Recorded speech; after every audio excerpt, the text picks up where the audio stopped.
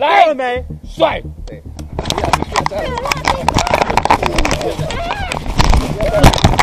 不要吵啊！你先打我们的啦。你现在对我们同事动手是不是？对啊。叫警车，扣回去。本分局新工所警员于五月十七日接获民众报案，有人持棍棒于荣光一路追逐一名女子，警方立即赶赴现场，发现该名男子情绪激动，用安全帽砸向自己及路旁的汽车。原警立即安抚男子的情绪，并利用现场的机车作为掩护，保持适当安全警戒距离，同时并呼叫线上巡逻警力到场支援。在这过程中，该名男子用手推挤，并意图攻击员警，造成警员手部挫拉伤。